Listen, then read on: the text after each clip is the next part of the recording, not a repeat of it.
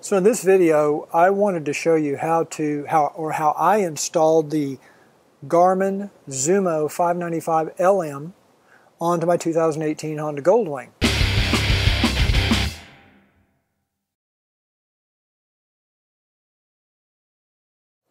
Now I chose to install this on the left handlebar.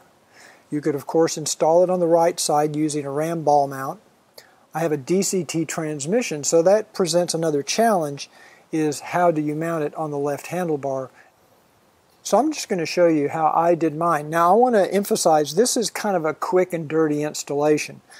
This was not what I would call a professional installation because I was in kind of a hurry. I'm going to Wingding and I, I didn't want to have to take off all of the top shelter and uh, to hide the wires. So I did some compromises on that for now. Once I remove the shelter, I will be able to hide the wires in a more professional installation manner. But everything does work. I uh, turn the bike on, the Garmin comes on, no problem. Everything works as you would expect. And I'm going to also have a video coming very soon giving a full review of my experience with this Garmin Zumo 595. So what we have here is the cradle uh, for the Zumo 590. And my objective is to mount this on the left, uh, left side of the handlebar. Now I've gone ahead and removed this little trim piece here. There's just one screw holding it together and I, I have a mounting, uh, a ram ball mounting bracket coming in for this, but it won't be in for a couple of days. The trim ring is held in place with a single screw. I like to give it a firm tap with a hammer and a Phillips screwdriver, and then the screw usually comes out pretty easily. Once you remove this screw, this trim ring just kind of comes apart, and what you're left with is a nice round handlebar that you can mount to. Of course, you want to store this trim ring somewhere. Don't throw it away. You may want to reinstall this later. Here you can see the round bar that we're going to be mounting to. And I'm going to be using this ram mount. There's the part number and I'll put a link for Amazon in the description. To get the ram mount to fit, you may need to file off just a tiny bit of this mounting pin. Here you can see the ram mount installed in that area. I filed off just the tiniest amount of that pin to get that to fit in place. But what I want to go ahead and do is get my wires run for this cradle because the Zumo kind of clips into this cradle and derives power and can do other functions. The problem is I've got all this wire. Now let me show you what this has on it. it it's a big wiring harness and it's got, A, it's pretty long, and it's got all these other wires coming out of it. You've got mic inputs and and uh, maybe headphone jack inputs. I'm not exactly sure what all these inputs are. I haven't looked because I'm not going to use them. You even have a USB uh, where you can, like a USB port. I, I, assume that's for like a maybe a uh, thumb drive for music. And then, of course, the one I'm concerned about is the red and black power. This is really all I need. I just need power going to the Zumo for right now. I could cut them off. I know I've talked to some people or I've read some people who've just cut all these other ones off and just left the red and black. That certainly would make it a little bit cleaner. Uh, but I'm going to go ahead and leave them on. I think I'm just going to kind of wrap them up and put a cable tie on them and see if I can't shove them down into, into here somewhere. The proper way to mount this is going to be to remove this top shelter because then I can get to all the areas down in here uh, to store all these wires. But in the meantime, I just want to run a black and red power cable up through this shelter uh, and then tie into this uh, black and red power cable right here.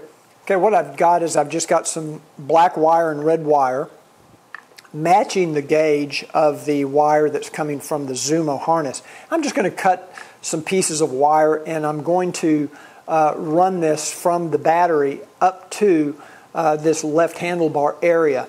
I'm not going to connect them yet. I'm just, I just want to run the wires first. With the seat removed, you can now see how I'm using a long cable tie to fish down through the shelter and it comes out down by the gas tank. It may take you a few tries to get this to work, but this is how I'm going to fish the wires up to the handlebars. Okay, I'm just going to tape these two wires to my fishing. It's actually a cable tie. It's about a three foot cable tie. You can buy these on Amazon. You can get them at Ace Hardware. Um, they're really flexible, but yet they're stiff enough to where you can usually fish them through some pretty tight spaces and uh, as you saw earlier, I was able to fish it through the shelter. Now, it did take me quite a few tries. Uh, so don't you have to be patient uh, because there's a very, very tight space here that we're trying to fish these wires through. So it could take you a few times uh, to try to get your little fishing line or wire or whatever you're using, whatever tool you choose to use. Okay, so now I'm just going to try to pull these wires on through. Okay, and there are my wires. Now I've got plenty of length here, so I can cut off, I'm going to be able to cut off some of this wire. I don't need all of it. Remove the left side cover and then remove the fuse box cover to get access to the accessory terminal screws shown here. This is where I'm going to attach the red and black wires for power to the Zumo. The top terminal is the positive, or in this case, the red. These terminals provide switched power, so they only provide power when the bike is turned on. I connected the other end of these two wires to the red and black wire coming from the Zumo harness using a simple butt connector. The Zumo cradle comes with a wire harness with a lot of extraneous wires that are not needed for a Honda Goldwing installation my initial attempt was to tie all of these wires together with cable ties and then attempt to hide these underneath the center console. Unfortunately, it was just too large. I even tried attaching them to the back of the Zumo and it just really, really looked ugly. Okay, as you can see, I just gave in. I finally just decided to go ahead and cut off all those extra wires because all I really need is this red and black power. So that's a lot less wire to bundle up. And I think without those wires, I can get it to fit underneath the console.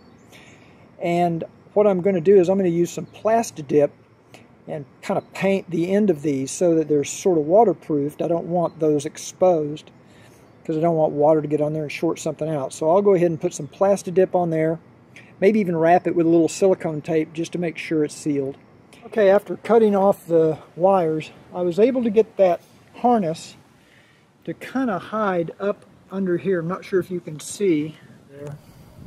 It's basically underneath this console in front of the uh, little glove box here. There's a little space where you can tuck these wires up. Now what I did is I actually took this wire coming out of the Zumo and I ran it inside of this uh, cover and there's two Allen screws. I believe they're maybe four millimeter, five millimeter, not sure.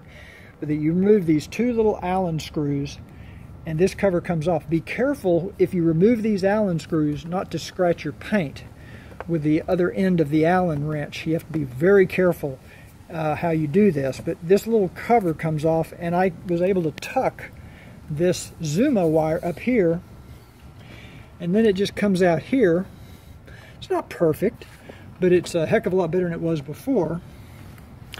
And I can turn the wheel both directions, lock to lock, without anything getting in a bind or uh, scraping anything or rubbing any paint or anything like that. So I think this is going to be good enough to get me to Knoxville. We'll give it a try and see. Well, as you can see, here I am riding to Knoxville for Wingding 40 and the installation worked perfectly. The power connection worked perfectly. The Zumo comes on when you turn the bike on and goes off when you turn the bike off. And uh, now I will be doing a complete review of the Zumo 595.